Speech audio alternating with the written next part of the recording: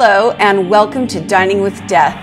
This episode is on our playlist, Dining with the Damned, where we discuss criminals who are sentenced to die, their crimes, their executions, and we eat their last meal.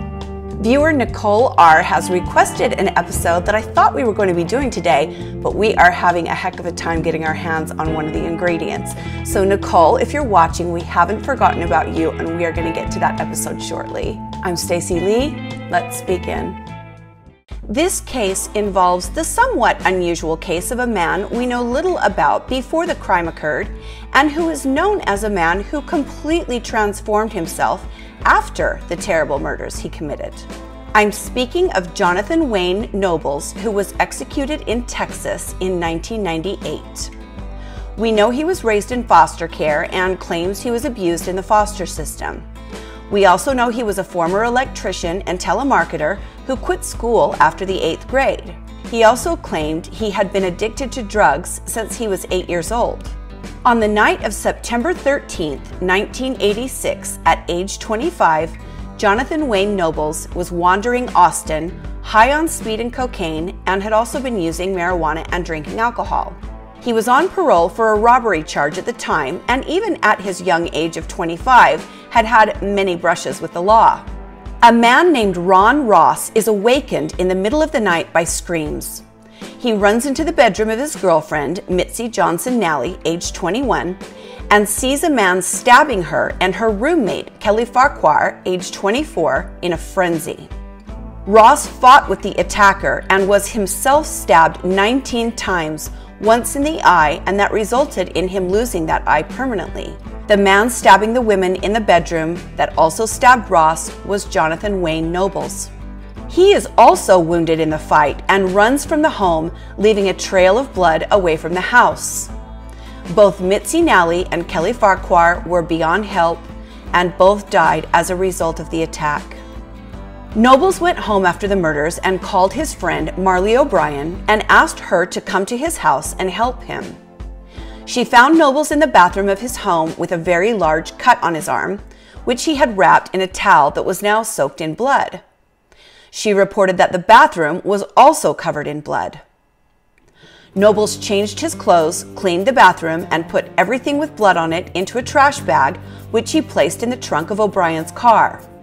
O'Brien drove Nobles to a friend's home where he shaved his beard and had his arm taped up. O'Brien later picked Nobles up at that friend's house and let him borrow her car while she was at work. Nobles had lied to her and his other friends and said he had simply been in a fight. After the murders were reported in the news, Noble's friends began talking and they are contacted by the police. Based on their interviews, Nobles was arrested, Fingerprints and hair left at the crime scene matched Jonathan Wayne Nobles. The evidence was only part of what the prosecution had, as Nobles openly and easily confessed to the murders and the attack on Ross. He was put on trial for murder, and he was found guilty of the murders of Nalley and Farquhar in 1987 and was sentenced to death. So, this is a little different than some of the cases that we've covered. It's pretty cut and dried. He was on drugs, maybe not in his right mind, wandering around for whatever reason. In fact, I read reports that said he doesn't even know why he did this. He kills these people, he attacks this man, and when he's caught, he confesses. We hear of cases like this a lot, so it's not really unusual, sadly, in that way. But what is unusual is what happens after he goes to prison. When Jonathan Wayne Nobles first goes to prison, he quickly alienates the guards and other prisoners. He is violent, he goes into rages, and he causes all kinds of problems. But in prison, he begins to read and he begins to change. He becomes interested in Catholicism and begins attending Mass. Now, as we all know, people who find God and religion in prison, that is not a new story. That happens all the time but this guy took it to another level. Nobles totally dedicates himself to religion and even becomes a lay member of the order and minister to his fellow inmates. He even began officiating at Mass and officiates at the Mass that was celebrated the night before fellow death row inmate Cliff Boggess was executed.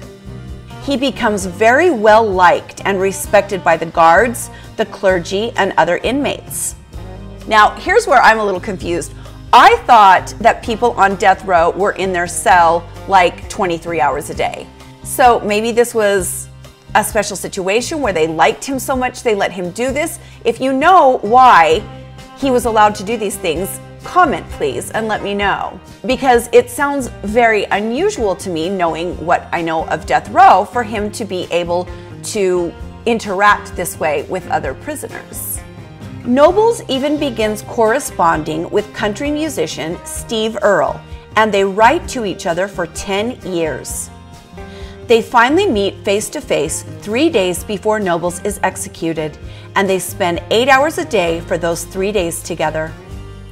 Nobles even requests that Steve Earle attend his execution, which he does. Steve Earle writes a very interesting account of this time with Nobles, I will include a link to that account in the description of this video for those that are interested in reading the entire thing. Earles gives an account of Noble's last day on earth. He writes in part, It's 10 o'clock in the morning, there isn't much time left. At 12.30, we will be asked to leave the unit and John will be transported to the walls. In the death chamber, we will be able to hear John over a speaker in the witness room but this now is our last opportunity to speak with him. There's quite a bit more to this account, like I say, if you would like to read it. The two men tell each other they love each other, and they part ways for the last time. They will not see each other again until the curtains are lifted in the death chamber. When I talk about his transformation being one that was really quite astounding, even one of the victim's mothers forgave him. So Either he was one of the greatest con men alive or he really had changed. This mother even ends up attending his execution. And I'm really on the fence about this kind of stuff. Um, I go back and forth, but I'm pretty sure that if someone killed my kid, I, I don't think it's happening for me. Not saying it's a bad thing, I just don't see that happening in my life. You know what else I'm sure people don't see happening in their lives? their kids being murdered. So, never say never. Noble said not long before his execution, quote, I don't think I'm the monster who perpetrated these terrible acts. Nothing I can do for a thousand years can relieve me of my responsibility. Well, he got that right. On October 7th, 1998, Jonathan Wayne Nobles is taken to the execution chamber. He gives quite a long last statement where he quotes 1 Corinthians and then expresses love to the survivors of his victims, including Ron Ross, who is there in the witness chamber. He says to him, Ron, I took so much from you. There is nothing I can do to give it back to you. I love you deeply. Ron Ross later stated, I carried a lot of anger into that room, but after the conversation we had, I think I released it. I don't think you can ask for more than that in a situation like this. A lot of people say there's no such thing as closure, but it sounds like maybe he got some.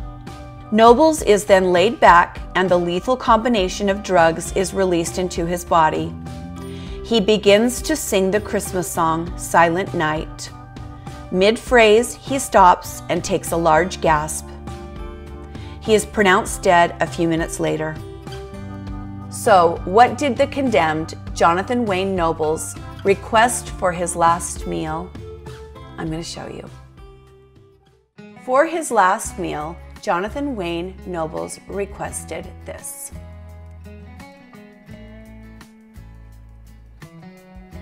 The Eucharist. It's a sip of wine and a wafer.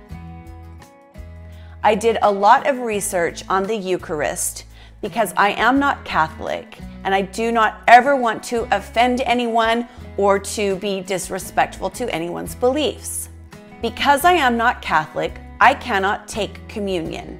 You can only take communion or eat the Eucharist if you have taken First Communion, and I have not. This is not technically the Eucharist because it has not been blessed by a priest. This is simply a little sip of wine and a wheat wafer. This is what the condemned asked for for his last meal, and this is what he had. The wafer is just a tiny paper thin disc of wheat flour, and this is just a little bit of red wine.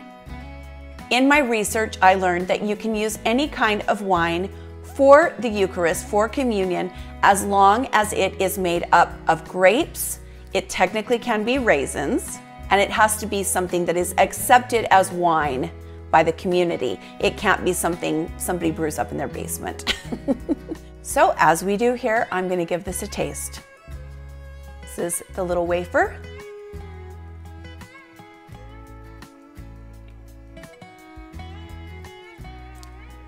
It really has no flavor. It tastes a little like paper. yeah, I've tasted paper. You were a little kid, yeah. That's what it tastes like to me. Yeah, there's really no flavor at all. It didn't dissolve quite as quickly as I thought it would. It did have a little bit of chew to it. And then here is the sip of wine.